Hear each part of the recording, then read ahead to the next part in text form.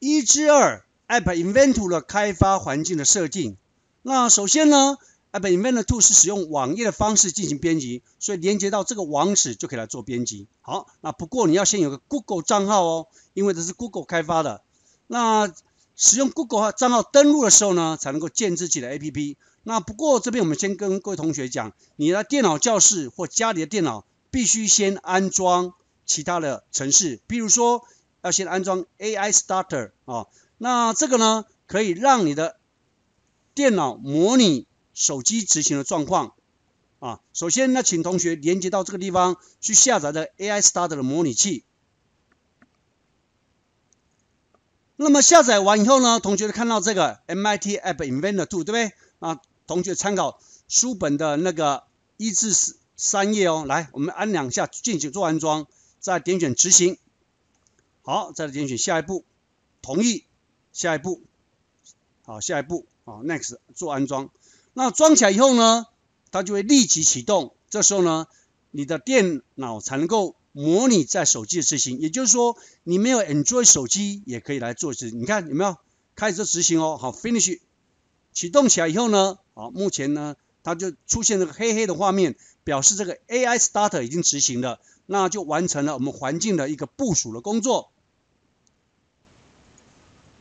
那接着呢，请你启动手机去点选这个 Play 商店，对不对？那按两下的时候呢，好，这时候去。打什么呢？去打 M I 那个 M I T，然后呢 A I Companion，A I Two 的 Companion 这个程式，请你搜寻这个，那再请你做安装啊。那注意哦，我们装的是二点零版本，所以你要装 A I to Companion 哦。再请呃同学手机去执行这个程式去安装。那这个呢，如果你有 Android 手机的时候呢，你的手机装起来，那其实在手机上预览结果是比较快。那当然，我们刚前面不是有安装模拟程式吗？那就是如果没有程式，你也可以来执行，从电脑来看效果。啊，那装起来的时候，那这边要提醒同学，千万不要装错哦。我们装是 AI Companion Two，那这是一点零的。好，那接下来装起来以后呢，我们的环境呢大概是第一个起来以后，接下来我们来看看执行的画面。那 AI Companion 执行起来呢？安装完在你的手机长这样，对不对？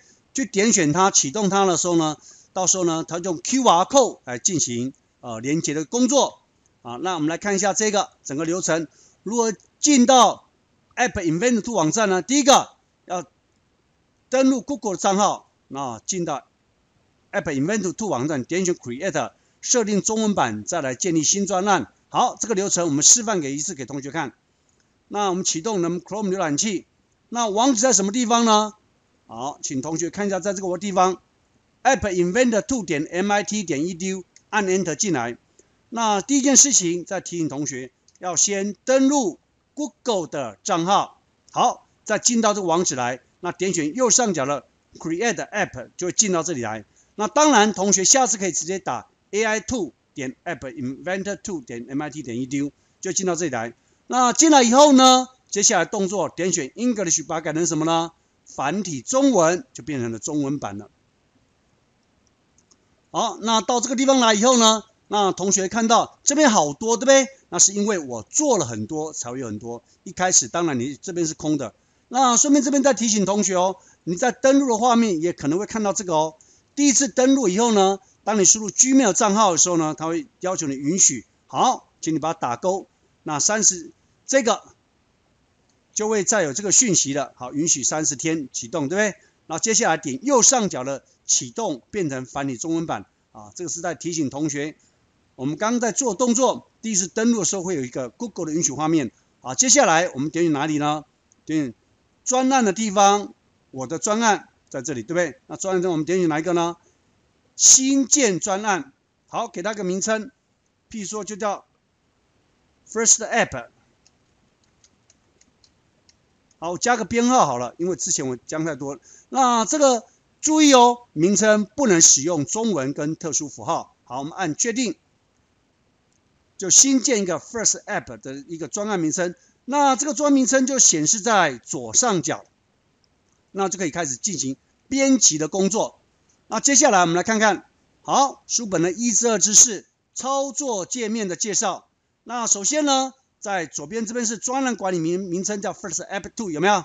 那这是专案的管理，你所有的作品都可以在这里叫做专案啊。那把别人的作品叫进来观看叫做汇呃汇入专案，那也可以把它输出哦，存在随身碟跟别人分享啊。那这个是连线啊，有三种的连线方式。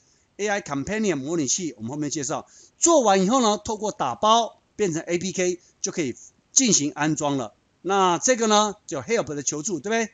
那左边这个是原界面板，这里有很多啊使用者界面、界面布局啊，这个多媒体，那这展开来有没有啊？感测器、社交应用这等等所有类别。那这个就是我们的手机，那把你要使用到的元件拉到这个版面来，那拉到来拉进来要同学看一下哦，这边是元件清单就出现了，好，我这边加了一个按钮。那怎么去排列？做设定呢，在这里。那这个按钮的元件属性在这边做设定啊，这是基本的。那在我们书本的呃一至二至四页有说明，请同学参照来说明。接下来还有一个比较重要的一个，好，我再拉一个，对不对？目前我这个专案里面呢有一个按钮，一个文字，那请同学切换到这里来哦。这里是 App Inventor 里面的另外一个界面，叫城市设计。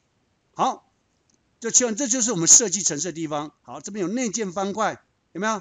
那这是在这个我们作品里面的 Screen Bar 里面有两个元件，一个按钮一，一个文字方块。当你点选按钮一的时候呢，它的所有的按钮的组合方块就在这个地方。我们说堆积木来写程式就可以来做啊。比如说，当点选了以后呢，好，文字我点文字方块，里面的文字做什么事情呢？就来玩积木的组合游戏。好，设定里面的文字内容，再切换到文字地方，给它内容啊，来卷轴。你要给它什么字呢？当我点选按钮的时候，里面出现大家好。好，那这就是我们程式嘛，对不对？当我点选这个按钮的时候呢，将文字方块里面的文字变成大家好。好，我们再回到外观编排，也就是当我点选这个按钮，里面出现大家好啊。那这个呢？这个的，城市设计的界面说明，在我们书本的一至九页这边也有，我们有针对每个地方做详细说明，再请同学参考看看。